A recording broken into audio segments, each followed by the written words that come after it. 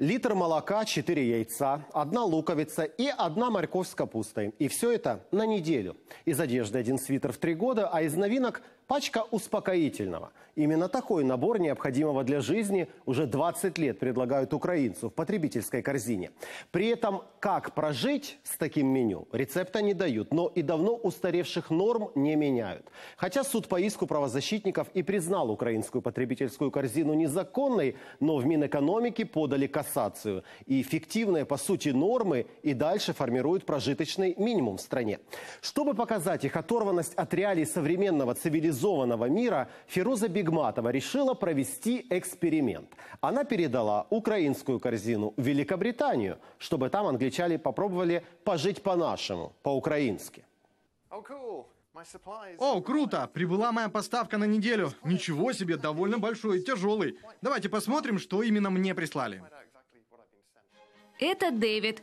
Он молодой британец среднего достатка.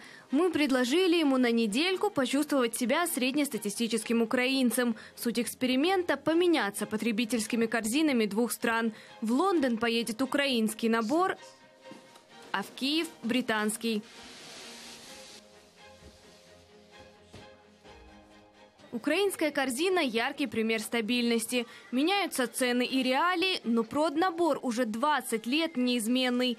Лишь в 2016-м добавили успокоительное, что, впрочем, не спасло власть от народного гнева. Правозащитники доказали в суде, что потребительская корзина в Украине давно не отвечает жизненным требованиям и фактически является фикцией, хотя на ее основе формируют прожиточный минимум. Відбулося десятки судових засідань судами апеляційних інстанцій. Навіть вже встановлено, що в Україні незаконно формувався споживчий кошик. Теперь правительство должно пересмотреть ее содержание. Но в Минэкономике подали кассационную жалобу в Верховный суд. Поэтому пока вопрос не решен. А вот Великобритании, не в пример Украине, не так консервативны и обновляют корзину каждый год. Ежемесячно в 150 регионах королевства Управление национальной статистики собирает и обрабатывает информацию о ценах, чтобы подсчитать уровень инфляции и вычислить прожиточный минимум.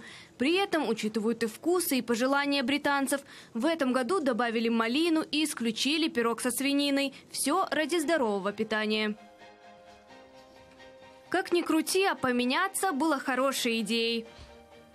Звоним проверить, дошла ли наша посылка в Лондон.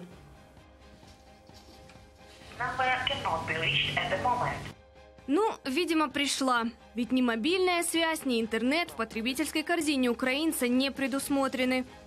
Хм, хорошо. Здесь много вещей, которые я не узнаю. Надо рассмотреть поближе. Не уверен, что это. Какие-то зерна? Ну что ж, пришло время сравнить несравнимое. Дэвиду, который и раньше жил небогато, следующую неделю придется познавать новые грани минимума. Вот такая порция. Это совсем немного еды на весь день, так что будет интересно. Рацион на неделю, 4 яйца, 4 сосиски, плошка риса и гречки, луковица, морковка и капуста, немного мяса и больше литра молока. Мы собрали для Дэвида самые привлекательные позиции из предложенного в украинской корзине на сумму из расчета 1777 гривен в месяц. Да уж, даже для одной подачи свинины совсем немного. На две ложки примерно. Это скорее размер для ресторана «Мишлен». Или для молекулярной кухни, ведь для нормальной жизни обычного человека этого очень мало.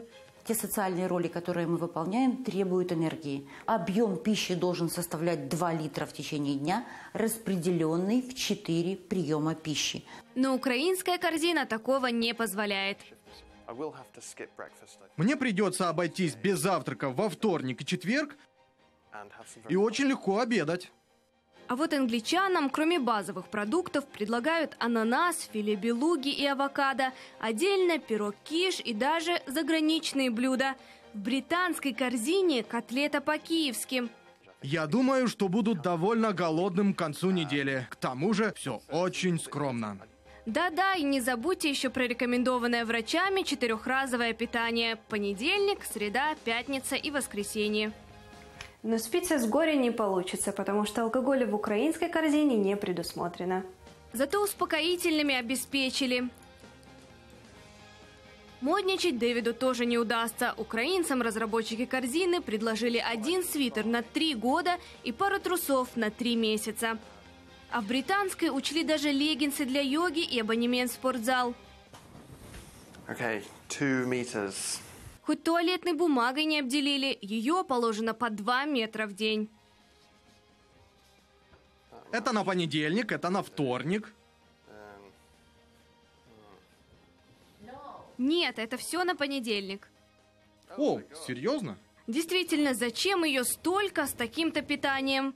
На этом этапе сравнения становятся просто невозможными, потому что в британской корзине поместились и мытье окон, и билеты на футбол, и даже услуги садовника, а еще поездки за границу, услуги няни, бассейн, катание на лошадях и боулинг. О такой корзине украинцы, конечно, даже не мечтают. И все же она должна хотя бы немного приблизиться к реальным потребностям человека. Фируза Бегматова, Светлана Чернецкая, Сергей Ведмидь. Подробности недели. Телеканал «Интер».